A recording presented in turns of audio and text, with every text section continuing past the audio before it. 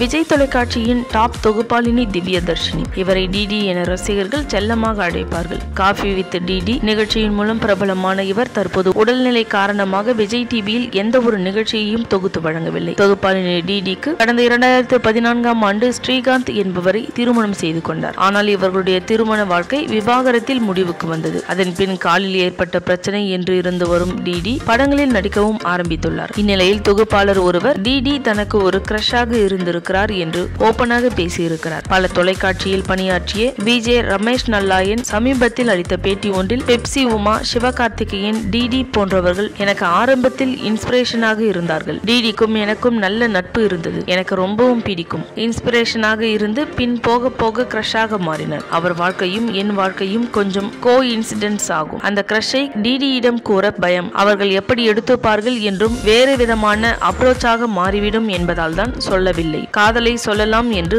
ஜோடி செட்டிற்கு சென்றபோதுதான் டிடியின் நிச்சயதார்த்தம் பற்றி கூறினார்கள். அப்போது எனக்கு அதிர்ச்சியாக இருந்தது. வேண்டாம் என்று நினைத்து கடைசி வரை சொல்லவில்லை. நல்ல பெண்ணை மிஸ் செய்கிறோமோ என்ற கஷ்டம் இருந்தது. ரொம்ப சோகமாகவும் இல்லை என்று ரமேஷ் நல்லாயன் கூறியிருக்கிறார்.